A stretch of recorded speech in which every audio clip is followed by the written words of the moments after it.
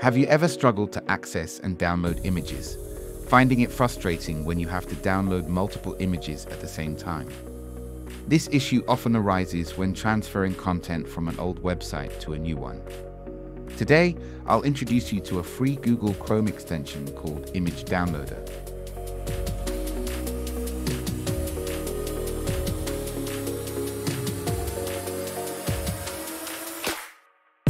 This extension allows you to select multiple images from any web page and download them simultaneously. You can either manually choose the files you want to download or use the Select All option at the top of the selector.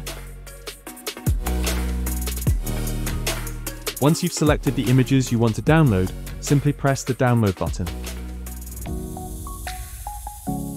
All the chosen images will then download simultaneously to your Downloads folder.